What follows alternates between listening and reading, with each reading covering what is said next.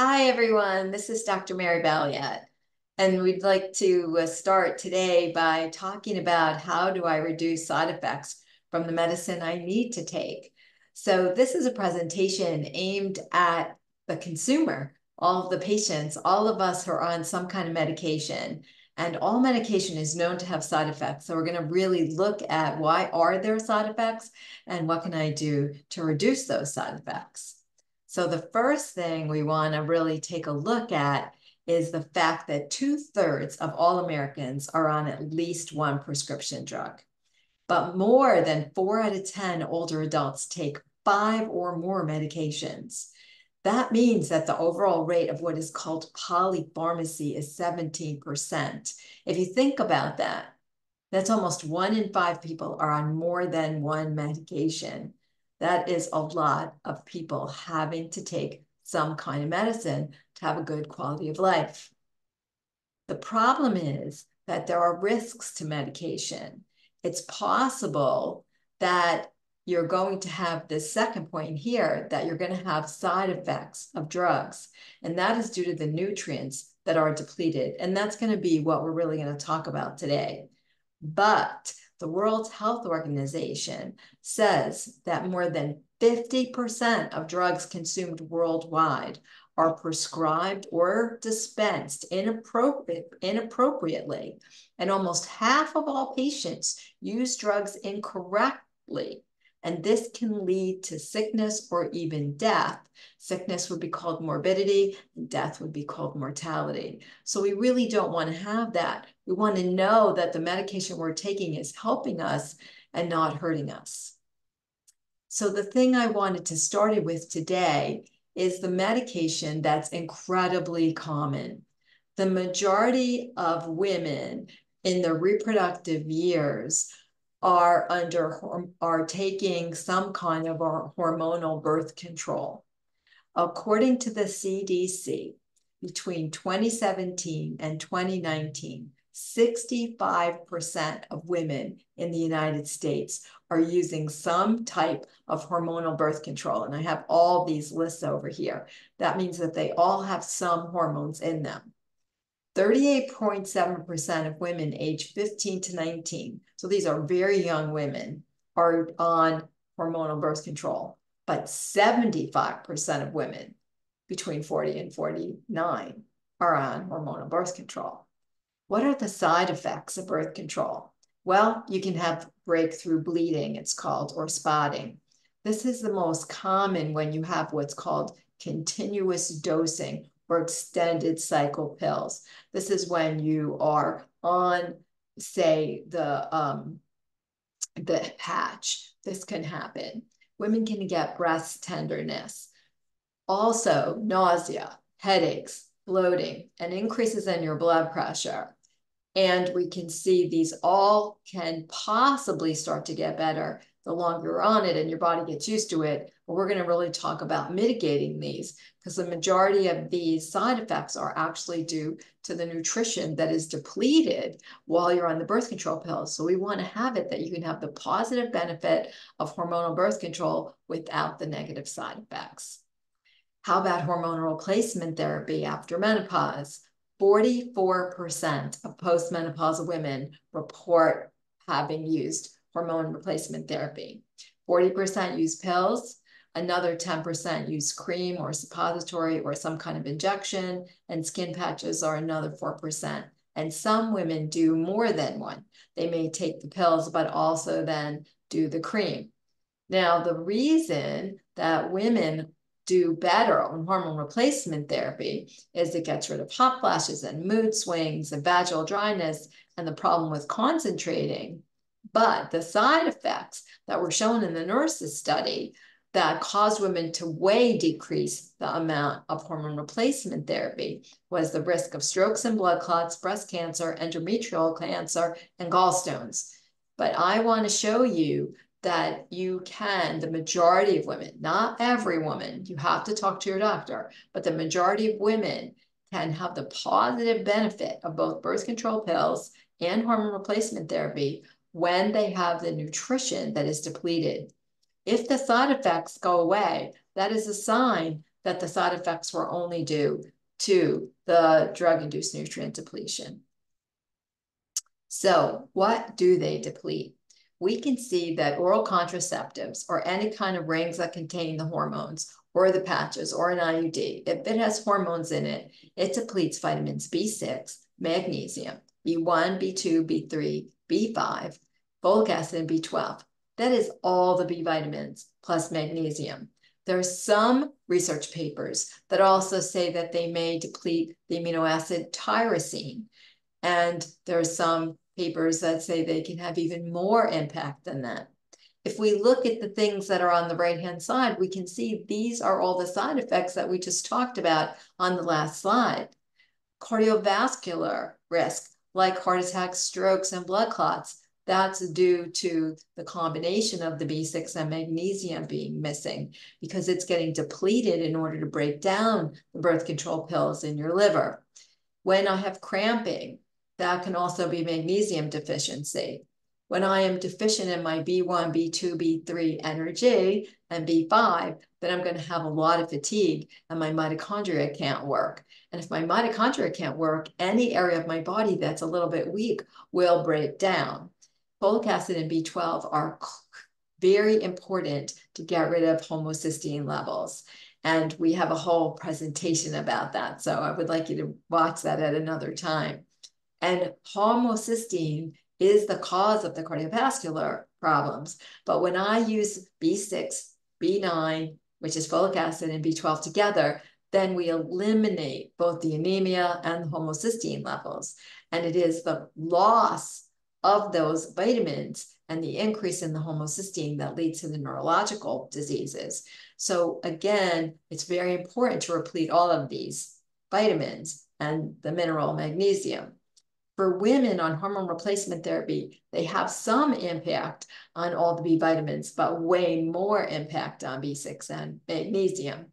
And so that's just showing those again there. So the take home message for hormone replacement therapy of either birth control pills or HRT postmenopausally is that we want to replete those vitamins that are missing.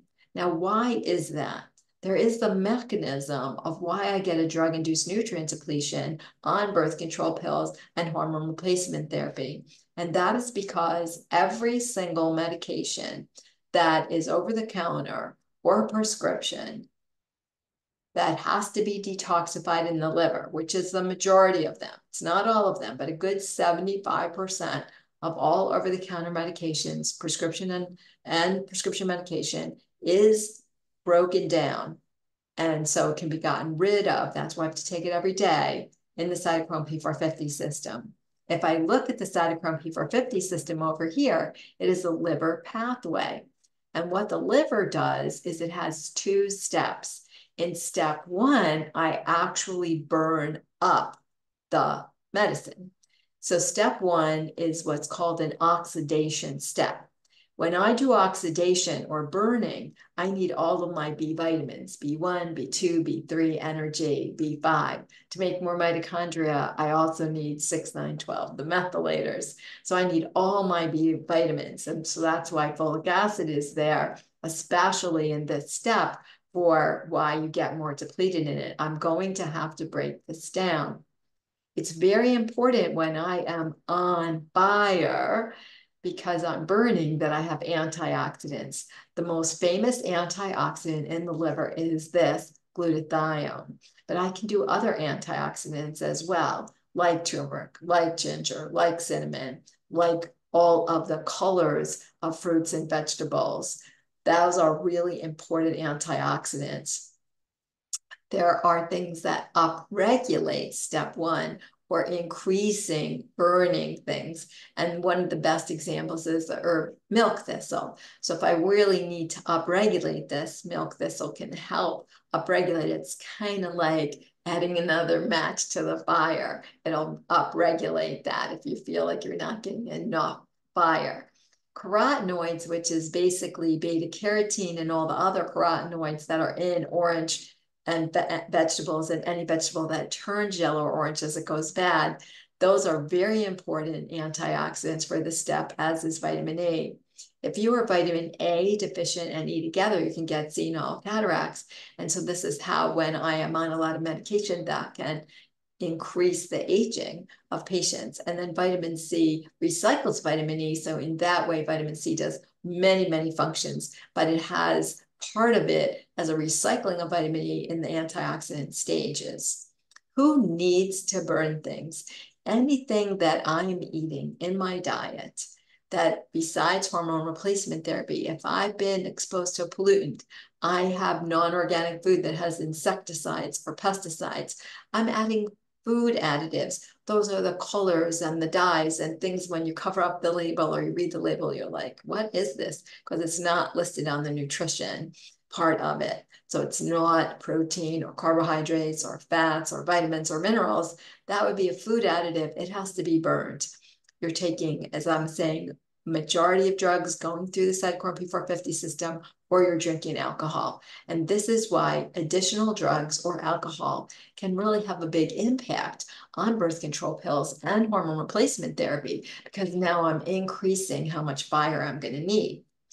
Now, if I have these toxins, which we're going to say are like tires, and they're in your field, not so great, right? But tires on fire are much more dangerous. So you have to put the fire out. So once I burn these, you would think, well, then they're less harmful, but they're actually more harmful unless I put the fire out. And that's called state two or phase two liver detox. I need a lot of amino acids. 40% of, well, actually, a lot of people don't get enough protein. But for people over 50, 30% of men and 50% of women do not get enough protein. If they do not get enough protein, then what happens is I don't have all these amino acids. I don't have L-glutamine, which comes in chicken and chicken soup and uh, bone broth. I don't have enough glycine, which is a very common amino acid in all protein, but it is known to be in collagen, probably why a lot of people like that. Um, but as long as you have enough protein, every protein has enough glycine in it. Taurine, which is made from cysteine, is made from sulfur-containing amino acids, which are found in things like cruciferous vegetables and asparagus and eggs and onions. And that's why these are so important. When we talk about these phytochemicals that are found in garlic, and the cruciferous vegetables and asparagus, we are talking about the sulfur-containing elements that are going to help put the fire out. Once the fire is out, there's two things that can happen. Where now we, we took the drug, can't have it in our body, we need it for one day, then we have to burn it. That's why we have to take it the next day. It's how the liver works. Then I put the fire out. If the fire was made from something that's fat soluble, it will have to go out through your bile.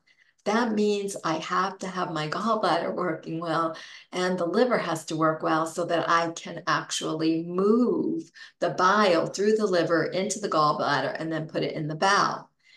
I only do this for fat solubles if I eat fat at every single meal. So it's really important to have good fats some omega-6 fatty acids. They are essential. Omega-6 fatty acids get a lot of bad rap, but the bottom line is they are essential at almost 11 to 17 grams a day. That's about a good tablespoon of omega-6 fatty acids. It's not a no-fat diet. It's the right fat diet. Do I need the omega-3 fatty acids that are the good guys, everyone says? Yes, of course I do, because that's really good for my heart health and my brain health, but I still must have those omega 6 fatty acids and I must eat good fats at every meal. So, good fats that come in nuts and seeds are really, really important so that when I put the fire out on those fat soluble vitamins and those fat soluble compounds that have been burned, I can then have the bile flow. That takes fat it also takes vitamin C. I cannot make bile without vitamin C. And so those two things, eating fruit and having good fats, then will allow me to put that bile in the bowel. Now, what's important as well is that I have to eat fiber. If I don't eat fiber, then this bile is going to be reabsorbed and it's going to go back to the gallbladder and back out. Now I'm going to have bile that's not fresh. And that's how a lot of people can get gallstones. And that's what we saw on the side effects that you can get gallbladder disease. You will not get gallbladder disease if you do things like drink hot water with lemon and I eat all my cruciferous vegetables and I have enough protein and I eat fat at every meal, the good omega-6s, the good omega-3s. And now I have fiber that binds the bile and now I'm going to poop it out and get rid of those toxins. The water soluble ones, I'm going to have to put through the kidneys and out in the urine because it shouldn't be called urine. It should be called you're out. What do I need in order to make urine? I need water. Can you have iced tea? Can you have soda? Can you have juice? Would you do your dishes in it? If the answer is no, then the answer is no. You need water because water is going to flush out that system and let you take those water soluble toxins out through the urine. So we want to have for this to remind ourselves good fat, omega 6s and omega 3s. We want to also have vitamin C. We want to have water, fat, and we want fiber. Fat, fiber, vitamin C, water. That's going to help us both get rid of these toxins after step two. Step one, I need my B vitamins. I need my antioxidants because I'm going to burn everything there are two things that we have to be very cautious of for upregulating phase one or the burning impact. Some medicines need to be in your system to have an impact. We do not want to upregulate the detoxification of them. We want them to stay around the right amount of time. So we don't want to get rid of them too fast or too slow. So on the last slide, we're talking about getting rid of them at the right speed. What about getting rid of them too fast? Grapefruit juice and St. John's wort. This is a picture of St. John's wort. This is grapefruit juice. They have the largest drug interactions. Why? Because they interact with the cytochrome P450 system and upregulate it. Therefore, now I don't have enough antibiotic to fight infections. I don't have enough birth control to not get pregnant. I don't have enough hormone replacement therapy. So I don't have hot flashes. So I don't have vaginal dryness. This is why we want to avoid the grapefruit juice and the St. John's wort when I'm on things that I need to have in my body at the right level every day. And so you have to be very, very cautious and read the label and make sure that you're not doing grapefruit juice and St. John's wort if you're on a medication that it is contraindicated in, which is the majority of medicines, unfortunately, because the majority of medicines go through the cytochrome P450 system. Now, I need 100% of the B vitamins when I'm on birth control pills and hormone replacement therapy. But for vitamin B6, I need more, way more than the RDA. I need 25 to 50 milligrams of vitamin B6. Now, I recommend vitamin B6 over here as pyridoxal 5-phosphate. I just did a screenshot of all the places that make pyridoxal 5-phosphate. This is the active form of vitamin B6. And I believe that some women lack the enzyme to make the active form of B6, and that's why they have a lot of side effects. So I think for the extra, go ahead and have it as pyridoxal 5-phosphate. For magnesium, the most absorbable magnesium form is magnesium glycinate. Unfortunately, vitamin companies can give you magnesium oxide, which is not absorbable, put glycine in it, which we talked about the importance of glycine, but putting glycine with magnesium oxide does not make magnesium glycinate, even though they can claim that it does. And the problem with that is then it's just going to help you move your bowels, not a bad thing, but it needs to get reabsorbed. It needs to get to be absorbed rather in your body so that you can actually have the benefit of the magnesium. Magnesium calms you down so you can sleep at night. Magnesium is really important for not getting smooth muscle cramping. That would be leg, that would be cramping in your legs, cramping in your abdomen, cramping in your uh, uterus, cramping in your blood vessels, which is hypertension. 80% of adult Americans are magnesium deficient. So that is a huge problem. And so I say, why not do the least expensive magnesium that's known to be well absorbed and just go with magnesium citrate?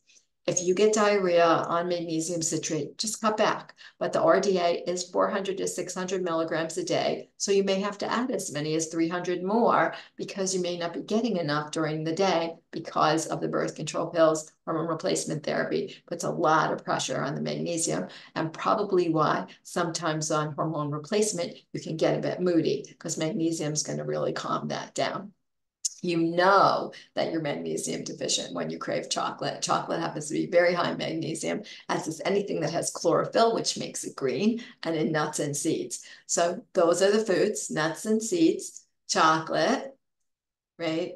And greens. And so you have to have those foods, otherwise you really need extra magnesium. So I just did screenshots, and that way you can sort of see what's up there. Now, the next thing I wanted to talk about is how does the stomach make acid and what it's for? So we're now going to move away from hormones and talk about the next very, very common drug, and that is antacids. So we have to talk about how and why the stomach even makes acid, that there is such a drug as an antacid. So the stomach has two kinds of cells. We can see here in green, the chief cells, they make a thing called pepsinogen. And these purple cells, called parietal cells, and they make two things, intrinsic factor and hydrochloric acid. Now this hydrochloric acid has two functions. Function number one is it converts pepsinogen to the active enzyme called pepsin, which digests your protein. When I don't have hydrochloric acid and pepsinogen converted to pepsin, then what happens is I cannot digest my protein. Hydrochloric acid also has multiple other functions. I said only two, but actually has, that's number one. Number two, it is going to allow calcium and iron and zinc and magnesium, anything called a divalent cation. That means calcium and iron and zinc and magnesium are all in the plus two state. And it can't stay there without the hydrochloric acid. It needs it for the transporter for those ions to get through. And hydrochloric acid opens the pyloric sphincter. So this, called the pyloric sphincter, which is between the stomach and your duodenum, which is the beginning of your small intestine, is an acid-dependent sphincter. If I'm on an antacid, and now I cannot make any acid, then I cannot open the sphincter. I can't digest my protein and I cannot absorb my calcium, iron, zinc, and magnesium. Where then is it going to go, that acid or lack of acid, not much acid? It's going to go up into my esophagus. This is called the lower esophageal sphincter. We need this to be closed. We need this to be open. We want the food to go this way, not that way. Gastroesophageal reflux disease is a very serious disease, but it is not a disease of too much stomach acid. Gastroesophageal reflux disease, or GERD, is really a problem of this, the lower esophageal sphincter. And truthfully, it's due to not enough acid, not too much acid. So let's take a look at that in a moment. We'll talk about one more thing, and that's this intrinsic factor. This is going to allow you to have B12 to be absorbed. So if I mess with my parietal cells, I, I can get B12 deficient. And B12 is the thing that leads to cardiovascular disease and neurological problems and anemia. So I don't want to be on long-term antacids. It can have a lot of impact on, bizarrely, my cardiovascular health. So that is an issue. So let's take a look at the mechanism of drug-induced nutrient depletion for antacid.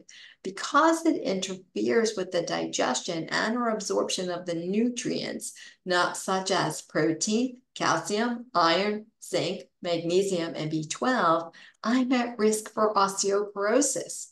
This is a huge problem. Osteoporosis can lead to a hip fracture as we age, and this is why it's important to get your DEXA scan. You want to have good quality bone.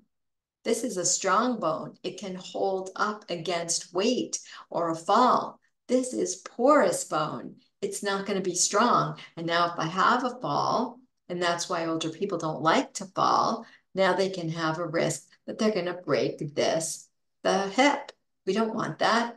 And we want them, and just taking calcium won't make any difference if I don't have stomach acid. Just taking calcium and I can have protein, which is the whole structure of the bone. I also need magnesium and zinc in order to make the builders of the bone.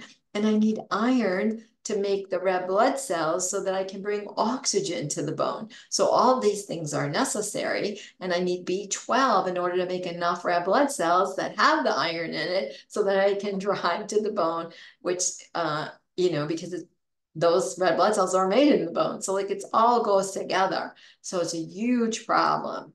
And so what we really want to be cautious about this. So who needs antacids they have to be doing something good for some people, but the bottom line is it has to do with GERD. GERD is gastroesophageal reflux disease. Antacids are one of the major classes of over-the-counter medications sold globally. And consumers with acid indigestion and heartburn spend billions of dollars on these non-prescription drugs in search of relief. This paper just came out in 2022. What else did this paper say? Two out of five people had GERD in the past. One out of third had GERD last week. And 50% of people who take what's called a proton pump inhibitor or a very serious antacid like Prilosec have persistent symptoms. That means it's not working. If one third of people are doing and half of them, it's not working. Why is that? It's because we're not treating the actual cause of the problem. The cause of gastroesophageal reflux disease is this sphincter should be closed. And if it's open, then the acid that's in your stomach, which you have to have, is going to come up in the esophagus. That is very bad because it will burn the esophagus. It cannot burn the stomach. The stomach has no capacity to be burned by hydrochloric acid, only the esophagus. We cannot have that. And so that is why if that it's happening that the lower esophageal sphincter is opening, we want to have an antacid. So let's talk about what's going to cause that and how we're going to fix it and really get the positive benefit without the negative side effects. One, we eat a big meal and lie down after eating. No, that's not a good idea. Why? I lay back. Now my sphincter opens, food comes up. I got to be upright. I need gravity. Food needs to go down. I'm really stressed out in a really stressed out environment, what happens is you have to be in rest and digest in order to make stomach acid. If I'm under so much stress, I'm in fight or flight, I don't make enough stomach acid. Let's go back. Why is that a problem?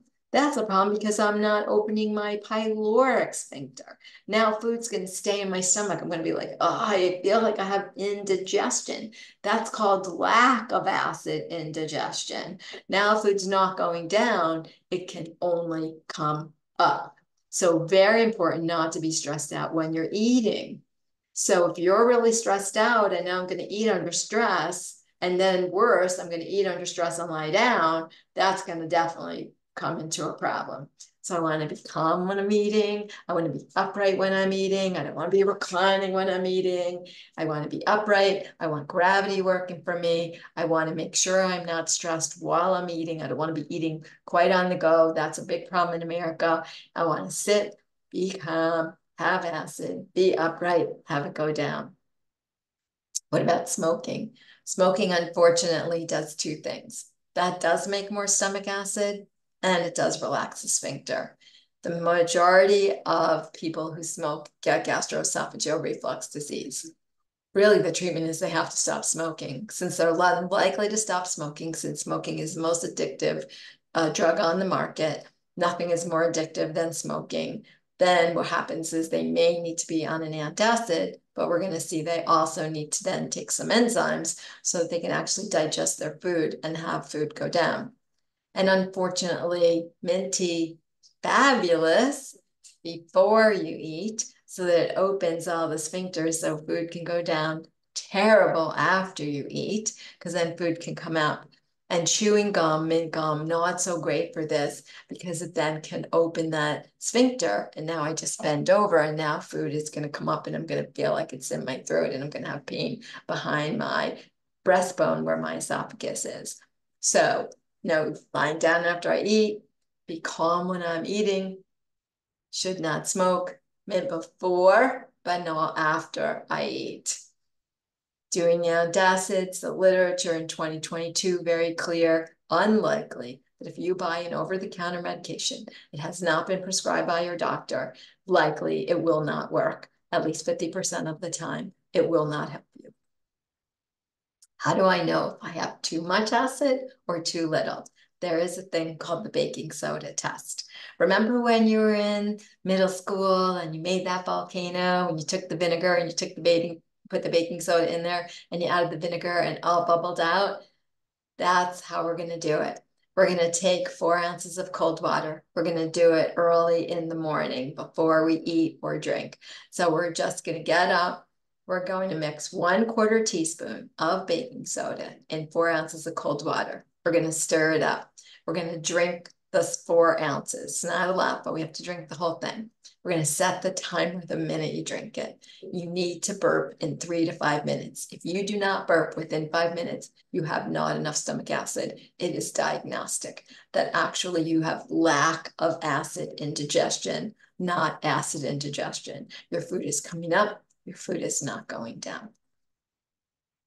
So uh, let's go back to that slide for one second. One of the reasons that a vinaigrette dressing, which has acid in it, and you have salad before you have your meal, is that will help the food go down. It is intriguing about that, right? So that now I have a vinaigrette and olive oil and vinaigrette dressing. That can be really nice for this um, and do that. Or some people do a little bit of apple cider vinegar before they eat. So if you fail the baking soda test, that is a really nice thing that you can do to get the system to go in the right direction, to get the food to go down, and then stay upright and calm and be able to eat. So what are the drugs that you can buy without the doctor? And so many people are buying it that we now have all this literature that is really a problem there are things called proton pump inhibitors. When you look at the generic name, they end in OLE, like omeprazole. H2 histamine blockers end in IDINE, like famotidine and TUMS. They cause a depletion of protein because you cannot digest it, you're going to lose your muscle mass. They cause a deficiency in calcium because you cannot absorb it. You're going to get osteoporosis. Your teeth are going to break. You're going to get tooth decay, and your heart will not work because you need calcium for your heart to work. Iron is going to be depleted, so you're going to be exhausted and get anemia. You're going to have a zinc deficiency, which is very poor wound healing. You are going to have trouble breathing. Breathing is a zinc dependent thing. You can lose your taste. Poor digestion because you can't even make hydrochloric acid without zinc. Without magnesium, you're going to have cramping, you're going to have a lot of trouble sleeping, but bizarrely, you're also going to be very tired. You need to make your weight in ATP every day. ATP is considered the energy currency of the cell, but you make your weight in ATP every day. 80% of adult Americans are already magnesium deficient because they don't have enough greens that has chlorophyll, has magnesium. They don't have chocolate or they don't have nuts. And so that's a problem. And so that's why there's so many. And now folic acid and B12 together work together for most people um, to do a bunch of things. But we had a lovely talk. Actually, B12 is needed to get rid of homocysteine along with choline, which is in lecithin. And so we need lecithin in our diet if we have MTHFR, and then the B12 gets rid of the homocysteine. If we don't have it, then methylfolic acid gets rid of the homocysteine and methyl B12 gets rid of the homocysteine. So there's a whole talk about that. But we want to just think about folic acid and B12 together for the 60% of people who don't have MTHFR. They work separately, but have really important functions when we have MTHFR. And together, they're doing many, many things for you so that you don't have anemia, you don't have homocysteine, you don't have cardiovascular disease, and your nerves are working great. So this is a big deal. And I just want to remind you again, this is something a lot of people buy without ever talking to the doctor. They haven't been to the gastroenterologist. They haven't been actually diagnosed with GERD. They diagnose themselves and they're causing all these kinds of problems for themselves and they don't even realize it. Some people take laxatives because they're not actually able to go to the bathroom and have a bowel movement regularly, like every day. If you eat every day, you should go every day. Why would I take a laxative um, why would I ever need that? Like, what did people do before there was laxatives? You know what they did? They ate fermented food like yogurt or kimchi, things like that, and they ate fiber. The RDA for fruits and vegetables is five cups of fruits and vegetables for women and nine for men. If I don't eat enough fiber and I don't have probiotics, which is the good bacteria, and the fiber that feeds them, because your bowel movement is due to 50% probiotics, 50% fiber. I don't have them. I don't drink enough water. I'm not going to go every day. That's it. That's actually all it is. And now I might take a laxative because I feel like, oh, I have to go. Problem is, I get deficient in the fat soluble vitamins A, D, E, and K. Without A and E together, I'm going to get cataracts. Without A, I can't have good night vision. I'm going to have a depressed immune system. For vitamin D, critical to absorb the calcium. We've been talking about that I need um, I need protons or I need acid for calciums to be absorbed, but I also need vitamin D. Without vitamin D, I can't absorb the calcium either, and I'm going to lose that. And so now I'm going to be depressed, seasonal affective disorder, vitamin D critical for immune function, and we're going to talk about this later, and the importance of vitamin D for all these functions. And then Without E, I'm going to not only have cataracts, I'm going to have very dry skin. My hair is not going to be good. I'm going to not heal well, but I'm also going to have reproductive issues like PMS. So let's say I'm on birth control pills and I have a digestive issue. I could really ha be having some real serious issues. Now, what's interesting about vitamin K, and while I'm a fan of having some vitamin K as a as a vitamin. If you have good probiotics, you actually make vitamin K as well. And without it, you're going to bruise and have blood clotting issues. And you're going to bizarrely get osteoporosis. And that's why a lot of people say, oh, have vitamin D with K2. But the truth is, if you have a probiotic, you're going to make K2 in your colon. And that is really, you don't need extra, in my opinion. Uh, but you may need extra vitamin D because if you live north, you really need extra vitamin D from uh, pretty much October to May. So that's the majority of us in the Northeast or anybody in the Northern latitude is going to need that extra vitamin D anyway. But if you're on a laxative, you're really in trouble. So who, what other medications cause osteoporosis besides antacids, glucocorticoids, that's like prednisone. We talked about the proton pump inhibitors, but sadly, selective serotonin reuptake inhibitors like Celexa and Prozac and um, those drugs also cause calcium deficiency and can lead to osteoporosis. So those people also have to be having good quality extra calcium, whether they want to take it as a supplement. Don't take more than 350 at a time. Only 300 to 500 milligrams can ever get in at once. You never want to take more than that at once. You want to take a good quality calcium or you want to just count your calcium by using an app on your phone like MyFitnessPal and you want things like good quality dairy or nuts is very high. So like almond milk has it in there and cow's milk has it, yogurt has it, all those things and greens have it. So very important to have food sources of calcium. And can you take extra calcium? Yes, the literature for women taking supplemental calcium up to about 500 milligrams is really good in a day. I would never take a, a, thousand milligrams of calcium all as a supplement and not as food. The literature on that is terrible for women. It shows that it can lead to cardiovascular issues. And for men, adding uh, a lot of calcium, especially if you're doing a ton of dairy, seems to lead to some prostate issues. So we don't want to do, uh, we really want food rather than having supplements and be cautious about that on the literature for calcium. So want to have enough, but not too much. The next thing, so we've covered hormone replacement therapy and birth control pills because a lot, a lot of women are on that, as we saw. We've covered antacids because billions of dollars and people can do that without ever going to the doctor. So they can diagnose and treat themselves without any training and may not know that they're actually causing themselves more harm than good. And then the other thing we're going to talk about now are non-steroidal anti-inflammatory drugs or the NSAIDs. NSAIDs are the most commonly prescribed class of medication for pain and inflammation. They're responsible for 5 to 10% of all medication prescribed every single year. If you are 65 or older, which I am, it is possible that 96% of people over 65 are doing an NSAID every single day due to arthritis pain. The problem is that NSAIDs can cause a lot of gastrointestinal toxicity.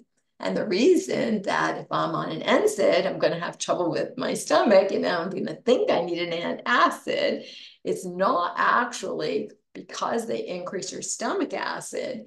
The problem with nonsteroidal anti-inflammatories like naproxen, ibuprofen, Motrin, naproxen, and aspirin all of those drugs block what's called the COX enzyme. Now, the COX enzyme gets rid of, it makes thing called prostaglandin E, which causes pain, but also very importantly, it actually also makes thromboxanes. And that causes you to clot when you have a cut. So say you don't chew your food well because you are a little Hoover and you're just sucking it in and you're not chewing. Chewing is actually not optional. Well, now I have unchewed food in my stomach. My stomach's doing this, and I'm going to actually slice my stomach. That's going to lead to a law of pain, which is called dyspepsia. I have stomach pain. That's all that means. Now, what happens is that I'm going to get this GI bleed. That doesn't seem good to me. Now, if acid goes into the duodenum, now I can get an ulcer. I'm not going to get GERD as much, which is weird, but I'm gonna more likely have this churning thing happening because of the way that the NSAIDs work. And now acid can get into my duodenum. So I have to be cautious. Always do the lowest dose nonsteroidal anti-inflammatory that you can to get rid of the stomach problems. Why am I getting cardiovascular adverse effects? Well, the problem with the cardiovascular adverse effects is really due to the fact that all of a sudden now I'm going to have um, this stroke or heart failure or hypertension because it's very counterintuitive. Because I just said it's so important to make thromboxanes, which let you clot. So we don't want to have a bleed, but we don't want to clot where there isn't a cut. And those are called prostacyclins. Cycle on by, don't clot here because there's nothing wrong with me. But if I can't make the COX enzymes, which is what the nonsteroidal anti-inflammatories inhibit, now I can't not clot when I shouldn't clot. And that can cause an infarct or stroke. Super important. Lowest dose you can ever take. Don't take it every day. Talk to your doctor. See what else you need to do. You should not be managing this yourself. Many of us are managing this ourselves, but take a look. Not the best choice always and very, very tough on the kidney because it's going to have to, this is water soluble. You know, if you mix aspirin in water, it will dissolve. And if you mix ibuprofen in water, it will dissolve. This is one of those that's not going out in the bile. This is going out in your urine. This is going to have to uh, be going through your kidney. You got to drink plenty of water if you're going to take a non uh, a non-steroidal anti-inflammatory. So, does it do anything else? Yes, it is going through the cytochrome P450 system. So all the stuff that we already talked about, that I need all my B vitamins and I need glutathione as an antioxidant, which is uh, really important. Glutathione is made from cysteine, which is a sulfur-containing amino acid. I need other antioxidants. I need the carotenoids. I need vitamin E. I need vitamin C. I need all my amino acids and I need water and I need vitamin C and I need to eat fat. Wow, it's a lot to think about because now take a look one more time. Look at this. Most commonly prescribed, also very, very likely to be over the counter. Three big things GI toxicity, cardiovascular adverse effects, and it's going to really hurt my kidney. Am I against ever doing them? Absolutely not. Pain is a terrible thing. Should not be in pain. Having to do this every day, we're going to have to see what are we going to have to do to mitigate this so we have the positive benefit when we're in pain without the negative side effects. Well, we're going to need all those things that we talked about. We're going to need all those B vitamins, right? But more importantly, we have to put the fire out. That's the main problem because we're already in flames. See, oh, that's interesting, right? If we're saying anti-inflammatory, it's because we are in flames, because we didn't know how to put the fire out. So to put the fire out, very important, included glutathione.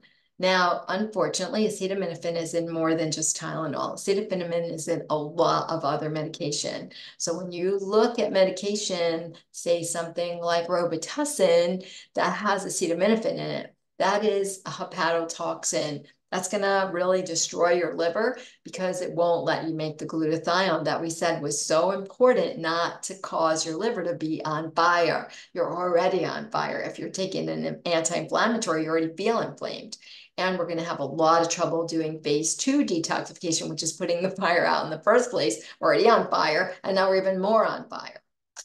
Unfortunately, ibuprofen and naproxen, the reason a lot of orthopedic surgeons don't like you to do NSAIDs is uh, at a high dose is that you won't sleep well. And if you won't sleep well, you won't heal well. Also, because they always cause a bleed, maybe not a big bleed, but they always cause at least some bleed, you have to have folic acid and iron in order not to get anemic. And without uh, enough red blood cells, then you can't heal and you can't make things that you make every day, like your hair and your skin and your nails. We're making those every single day. And if I lose folic acid and iron together, now I can't do that. And so this is why I'm not going to heal quickly. Always the lowest dose, always work with the doctor or the pharmacist. The pharmacist knows the right dose and can help you. And then salicylates are iron. Now what's interesting, let's go back to the NSAIDs for a second. How much should I take? Well, it turns out that nonsteroidal anti-inflammatories like ibuprofen and naproxen and naproxen, Motrin, all those, they're what's called competitive inhibitors. So the more that I eat an inflammatory diet, and that's why the literature on omega-6 fatty acids is bad. It's not a no omega-6 fatty acid diet. It's the right amount. Omega-6 fatty acids are essential. Your body cannot make it. It's very, very important to have omega-6 fatty acids to have good hair, skin, and nails. Where we to have somewhere in that 11 gram to 17 gram amount. But what if I eat way more than that? Now I'm going to be more likely to be inflamed because one of the omega-6 fatty acids is called arachidonic acid. Arachidonic acid is very high in the skin of chicken. It's very high in um, things from a cow. If I don't eat grass-fed beef. And so if I don't eat grass-fed beef, then it is up. Does that mean I should never eat any beef? I say no, because I need that beef for iron and red meat is really great source of iron, but we don't want to have too much of it, right? So it's always the baby bear amount. I don't want to have too little and be too cold like mom bear. I don't want to be too hot like papa bear. I want to be just right like baby bear. So I want to have that right amount of omega-6 fatty acids so that I have good uh, skin and hair and nails, but not so much that I'm in flames. That's important. And we know if I'm having too many omega-6 fatty acids, way too many, because I'm going to need the anti-inflammatories because I'm going to make more of what's called prostaglandin E. So we don't want to do that. I get that. That's really important. And we can balance that out by having more omega-3s. So we can have fish a couple times a week. It's really the people who are eating red meat, two meals a day or seven meals a week, that's too many. I get that. Now, the more again that I have too many omega 6s, the more ibuprofen I'm going to need if I get in pain. Salicylates are different. Aspirin is what's called a non competitive inhibitor. It's the same dose for everyone, one baby aspirin. Now, in the beginning, they put everyone on cardiovascular disease because they didn't want them to clot on one baby aspirin. But the literature is not good on that anymore. They're saying some people are going to do great on that and some people are not going to do great. And that's because aspirin depletes not only the folic acid and the iron that happens with the NSAIDs, but they also mess up your potassium sodium ratio, which is going to get you to have muscle weakness and an irregular heartbeat. And then because they always, always cause a bleed, there's no way you're not going to get a bleed. Now, remember, the problem is you don't want to clot. they give you aspirin as what's called a platelet aggregating factor inhibitor. We don't want you to clot, but if you can't clot, you can't not clot either. And so now you're going to get a bleed. This is the problem. It's finding that sweet spot, right? And so what we want to do is other things that are platelet aggregating factor inhibitors so we can avoid too much aspirin or having to take aspirin. And platelet aggregating factor inhibitors are things like fish oils and things like um, garlic. That is really great, and ginger and turmeric. All of those things are platelet aggregating factor inhibitors. That's why they are anti-inflammatories because they work on this same system, but now they act more like a dimmer switch than just an on-off light switch like aspirin does. Either it's on or it's off. Whereas if I have an herb, especially a good quality herb, then the body seems to know what it does. It dials you up when you need it and it dials you down when you don't. So it's just a lot better for you to have a more natural anti-inflammatory by having a relatively anti-inflammatory diet, eating good quality meat, good quality uh, fruits and vegetables, and not too many problematic foods that increase your inflammation, but not none, just not too many. So what about the other cardiovascular drugs that are on the market? This is the list of the big groups here. The American Heart Association reports that 82.6 million people in the US currently are on one or more, uh, have one or more forms of cardiovascular disease. The number one most common cardiovascular disease is this one right here, hypertensive heart disease. Hypertensive heart disease means that you have too much blood volume and hypertension, you're pounding all the time on your blood vessels. And that's going to cause the blood vessels to go into coronary artery disease because they're going to have to now put a covering over that because they're like, that's not so great. And then coronary artery disease can lead to heart failure and to stroke and to myocardial infarction and peripheral artery disease and heart failure. And then your heart's going to have an arrhythmia. So it doesn't seem good. So hypertension, you really want to avoid hypertension. That's super important. Now, one of the things that they give you for hypertension, well, there's many things they give you for hypertension, and that is beta blockers and ACE inhibitors. So uh, beta blockers don't let you constrict your blood vessels, which is why then you're going to pound on them even more. And an ACE inhibitor inhibits what's called your renin-angiotensin aldosterone system, and it's going to not let you reabsorb too much water. Now, what's interesting about these two things right down here, you really want your cells to have water rather than your blood to have water. You want to urinate the right amount, and you want, there's only two places water can be. The water can be in your body, that is. It can be in your cell, and you're a grape, or it can be in your blood and then your cells are raisins and your blood has too much blood in it. So you want to have the right vitamins so that you can pee the extra water out, but you want to have the right protein, magnesium, potassium, sulfur, so that you can pull the water in to your blood, to your cells. So now you're a grape, not a raisin, and you're not hypertensive. That's really the key. But if you don't do that, then they're likely to put you on a beta blocker and an ACE inhibitor. Problem is that these cause serious drug-induced side effects. Also, we said we want to not let you clot, and that's why we're doing aspirin and other platelet aggregating factor inhibitors because we don't want you to clot. But don't forget, if you can't clot, you're always going to bleed. They go together. They're made in the same pathway, just by different cells. So it always, always, always happens. It's not truly a side effect, it's an unwanted effect, always going to happen. And then one out of every four or five adults over 40 is on a statin drug. And we're going to see that has a really big drug-induced nutrient depletion as well. So let's take a look. The big three, statin drugs, beta blockers, and metformin, which is for keeping your blood sugar under control if you're diabetic, they deplete CoQ10.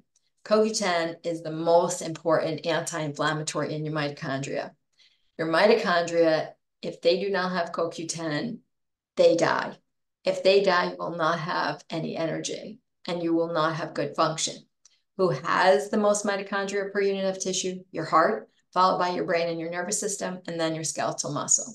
your heart, and they're giving me a statin drug and beta blockers and metformin for my heart, and now they're going to cause a problem. Yep, you have to take CoQ10. There's no way you can make it. So we're going to talk about that when we get to that slide. ACE inhibitors deplete zinc. That's interesting because you lose taste when you're zinc deficient. Not everybody, but a lot of people. Intriguingly, the ACE enzyme called angiotensin converting enzyme makes a thing called angiotensin 2. That's where the COVID virus went in. It went in the angiotensin 2 receptor. That's why people got loss of taste. It was their zinc that went down because the COVID virus acted kind of like this drug, which is weird, right? And look what they had. They lost their taste. They had trouble breathing. They got sick. It's so interesting, right? And then they couldn't heal. And you can't make stomach acid. It's critical to make stomach acid, or you can't kill any bacteria or viruses or yeast that comes into your stomach. You want a lot of acid so that you don't get what's called a dysbiosis in your intestines. So we don't want to be having not enough acid. And we said already you can get those lines. So some people need extra zinc. If you're losing your taste, you're getting coughing, you want to try zinc lozenge. We're going to talk about more about that. And then some people are put on diuretics, although those are way out of favor with the medical community. Uh, you can't take a diuretic without the doctor. Look how many things are depleted. Calcium, magnesium, potassium, zinc, B1, B6, folic acid, CoQ10. This is huge. Look at all the side effects. So this is why the doctor's not loving their diuretics anymore, really going with ACE inhibitors, going with the beta blockers, going with metformin and statin drugs. So really, what are we going to focus on here? We're going to talk about it again at the end of the presentation. We're going to need extra CoQ10 and zinc. Really important for cardiovascular disease. And we remember we said millions of people have cardiovascular disease. Number one cause of death in the US and Canada, cardiovascular disease. So we got to stay on top of this. Why are they causing these problems? Well, statin drugs in particular block this HMG-CoA reductase. That enzyme lets you make cholesterol.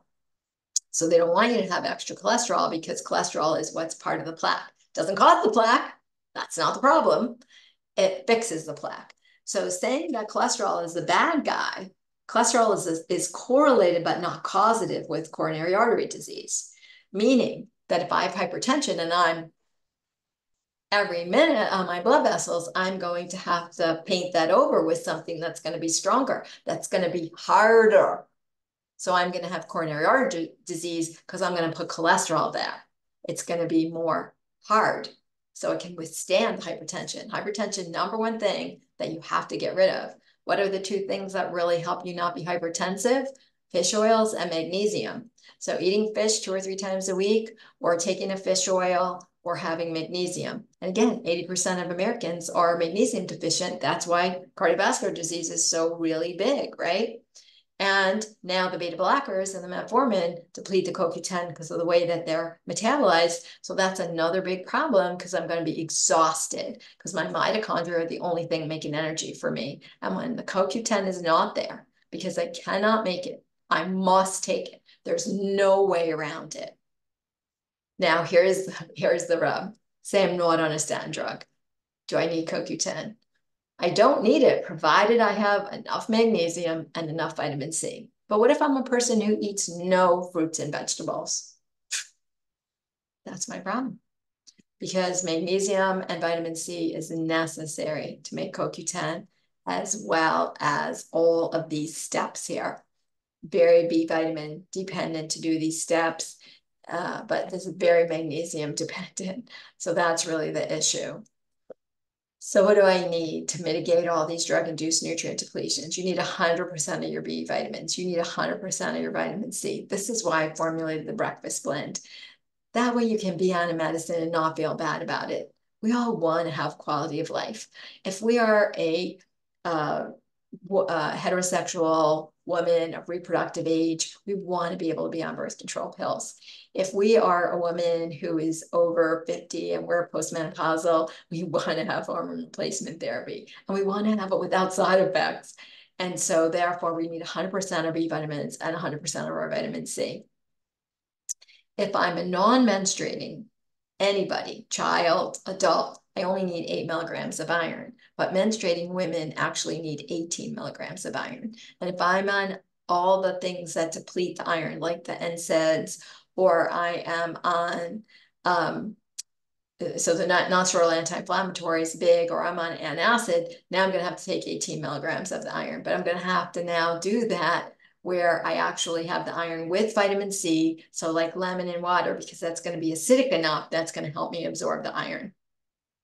Again, hot water and lemon really doing great things for you, or even cold water with lemon. I don't really care which way you do it, but putting lemon in the water really, really helpful when you're taking your iron. You want to have that.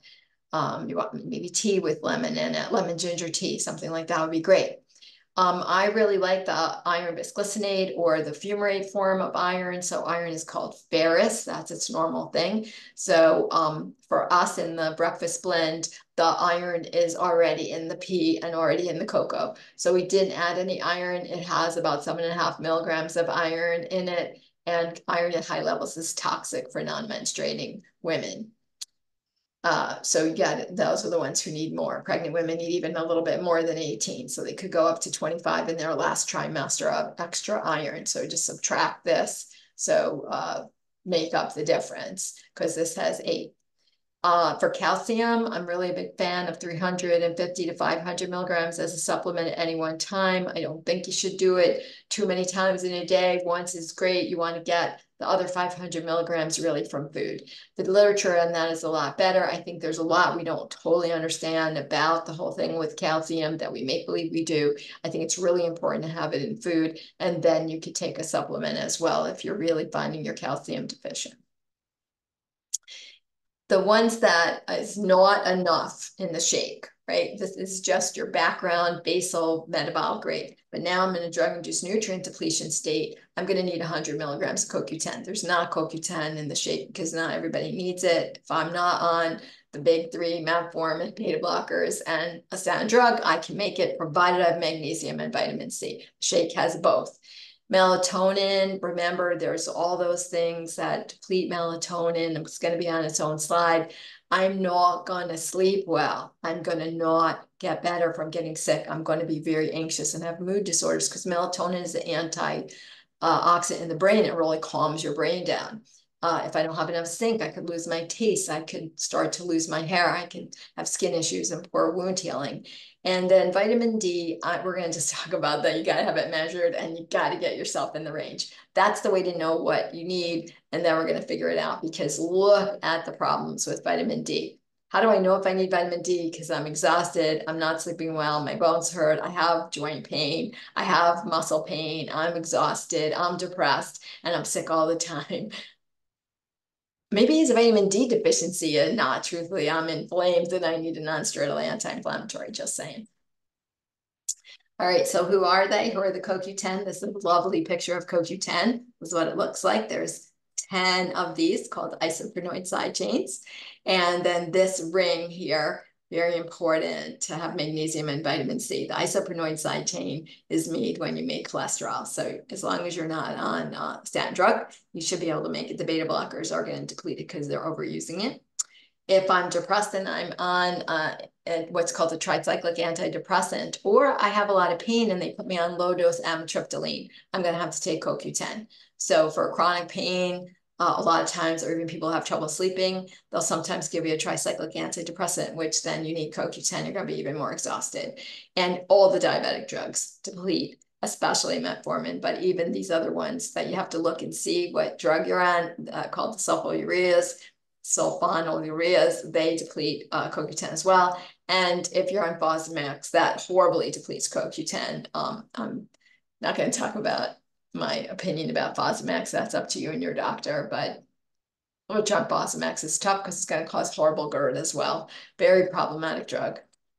Better to do weight bearing exercise and eat your protein and your potassium and your magnesium and uh, and your calcium, and then you'll be okay, hopefully. Melatonin is depleted by corticosteroids. That's prednisone, non-steroidal anti-inflammatories. That's you're in pain and you're not sleeping. SSRIs and the benzos. So now I'm depressed or anxious. Both of them deplete melatonin. Uh, Ritalin, I have ADD, huge, right? Or beta blockers. So what do I want? One to three milligrams, right about an hour before you go to sleep. But I did a whole a PowerPoint and it's on our website and our YouTube channel on sleep and all the importance of sleep hygiene because melatonin is huge. It really helps your eyes be well. Uh, and really sleeping is really important for eye health. You won't get depressed and have seasonal affective disorders with enough melatonin and vitamin D, intriguingly. Um, it's going to support your immune system along with vitamin D, and it's going to help protect your mitochondria because it's a really important antioxidant. And after your heart, your brain has the next most mitochondria. So you got to sleep. Sleep is not optional. And James Maas at Cornell says you need seven to eight hours of sleep every single day. Few people can get by with less zinc deficiency, you're going to be tired and, and listless and you can't concentrate and you're going to have loss of your hair and weakened immune system and dry eyes and you can't smell and you can't taste and you have these white spots on your nails and your skin's not going to be good and you're going to have a horrible libido. So what are the things that do that? Antacids, H2 histamine blockers, um, NSAIDs, birth control, ACE inhibitors, and diuretics. So we really want to take a look, and the dose for that is five milligrams. There's slightly less than that in the shake. If you need it, do it as a lozenge. It tastes great when you need it. When you don't need it, it doesn't taste as great. So it's really good because zinc at high dose is not so great for you. You really want to try to stay in that right around that five milligram. Again, naturally occurring zinc comes in things like nuts and seeds. And then what about vitamin D? You really want your vitamin D. It's called 25 hydroxy vitamin D. You want your chiropractor uh, or your medical doctor to order it, whoever can order blood work. You want them to do it. You want them to do it in October if you live in the northern latitudes. It's going to be the highest it's ever going to be after the end of the summer. And it's only going to go down from there until May. And you want to be ideally 40 to 60, 30 to 80 is the normal range. So um, I've had patients come in at 17. That's way too low. They're going to have to take a lot of vitamin D. They might need 5,000 international units. The RDA is only like 400 to 800, 5,000. If they give it to you, a medical doctor, they're going to give you 10,000. So you can do that, get the little uh, gel pills, or you can get the gummies, whatever you need to do. Just really see where you are. You want to have your blood work done. You want to be 40, 50, 60, something in that range. That's ideal. And I really believe uh, that you really should have it measured so you know how much you should take. You don't want to get way high, but you definitely don't want to get too low. Um, and then look at all the things, laxatives, SSRIs, steroids, statins, again, uh, seizure drugs, which people have got to be on those, and then a lot of weight loss drugs. So I wrote this just before the whole Wegovy thing. So I have to look up if Wegovy does that, but it's much likely that it causes you to be depleted in uh, vitamin D. So very, very important to do that. So if you have questions, you can email me at mballiet at potentialpowernutrition.com. So it's great to be with you this evening, and I'm going to stop the video.